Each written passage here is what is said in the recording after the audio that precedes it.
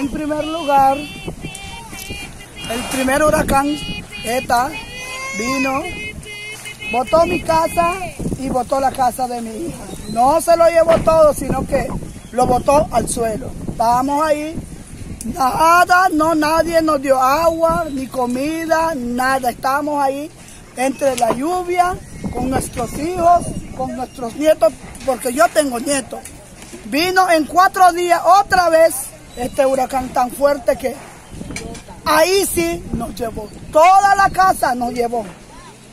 Ahora, toda la gente, todos los que la casa le, lo se cayó, están desesperados buscando su, su, pedazo de, de, madera y están desesperados. El otro dice, este es mío, el otro dice, este es mío.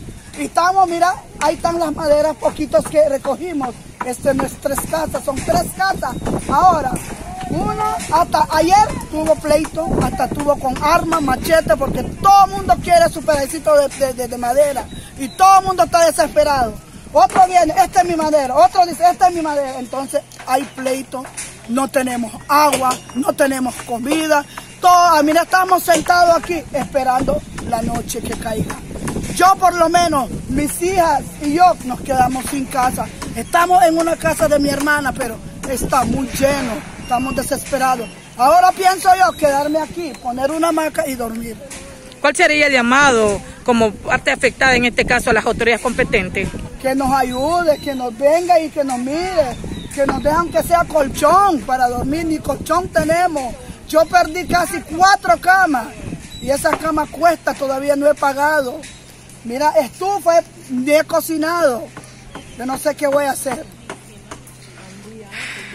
Y ahorita con lo que, o sea, entre lo más que necesitan, ¿qué es lo que más necesitan en estos momentos? Necesitamos clavos, zinc. Vamos a ver qué hacemos. Para ver, aunque hacer como un, un ranchón y quedarnos ahí con mis hijas juntas, pero ahí vamos a estar. ¿Cuántas familias son en su casa? ¿Cuánta, cuánta gente, cuántas personas?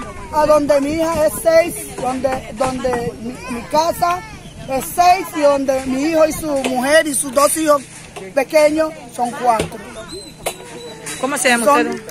Yo me llamo Corlen Giassi. Habitante del Muelle. Habitante del Muelle. Bien afectado y muy afectado.